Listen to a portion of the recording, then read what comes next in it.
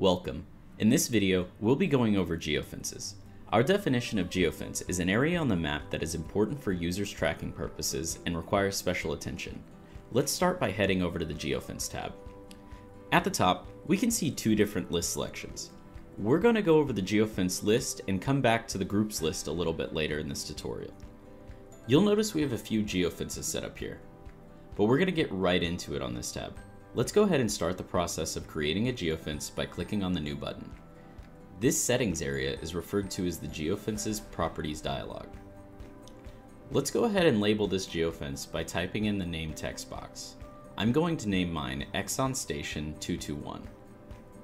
Now, let's select the color and font size we want our name to be. I'll choose red and 14 pixel size.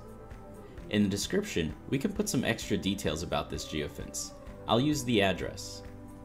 Now select the type of geofence it is, whether it's polygon, which covers an area based on the points you click, line, allowing you to cover roads easily by clicking along a path and making the line thick enough to cover the road, or circle, which allows the creation of a geofence by selecting a point and building the geofence based on a radius input.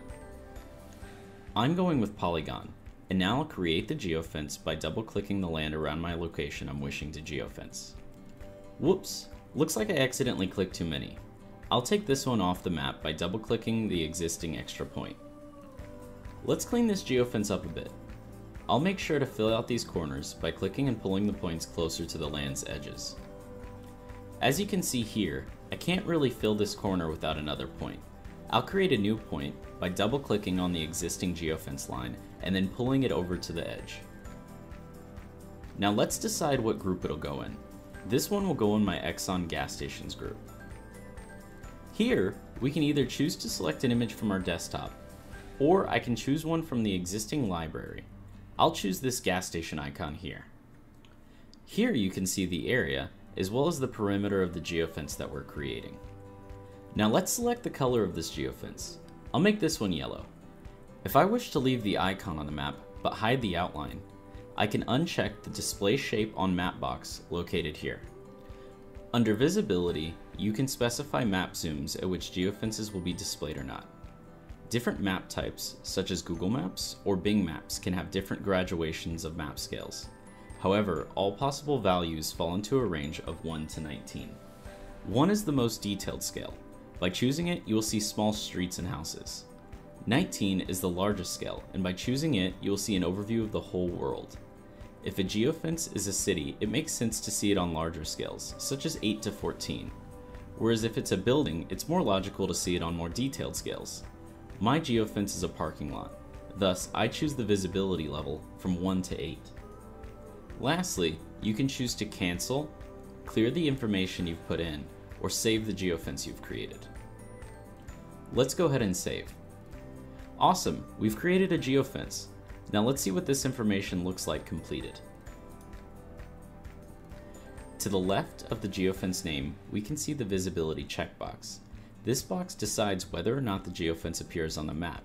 It should be noted that the geofence's visibility does not affect its existence in notifications or reports.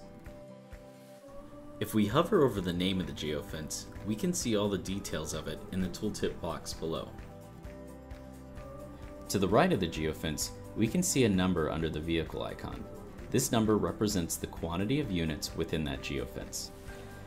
And if a geofence has certain settings we'd like to carry over to a new one we're creating, we can choose to copy an existing geofence and remake it with a new location by clicking on the copy button. Let's return to the top of the work area, and now we're going to look at the groups list. I won't be going over the functions that are the same as this one, just the things that are different. Let's go ahead and create a new geofence group by selecting on the new button. Now let's decide a name for our group, such as hardware suppliers. And if we want, we can describe this group in more detail in the description. Next, we'll need to add some units to our group. But before we can get started, we can make this process easier by sorting out the existing geofences. So in this box, I'll select items outside groups. This will clear my list of anything that has already been grouped. Then I'll type out some words or words that are in common across all the geofences, such as hardware. Now that I've sorted out the units on the left side, I actually need to transfer them to my group which is on the right side. The quickest way is to double click on the individual geofence as long as there is a small number of geofences. Although if I have several in separate locations along the list, I can highlight multiple by holding control and clicking each geofence once. In the end, I'll send them to the right side by clicking the arrow here. And now if I have several geofences next to each other, I can click the top geofence, hold shift, and select the bottom geofence. This will highlight everything in between my clicks. Then I can add them to the right. And last of all, if my search worked extremely well, I can click the button at the bottom to highlight all the geofences at once and move them all over by selecting the move arrow. Now that we've got our group, let's hit OK at the bottom. On the list, we can see our groups as well as our geofences. In order to show the geofences, all you need to do is hit the Expand List button on the left of the geofence. To the right of the geofence group name, there is a number in parentheses. This number indicates the number of geofences within the group. Congratulations and thank you for completing our tutorial on the Geofence tab. I hope by now you feel a little more at ease when operating through our platform.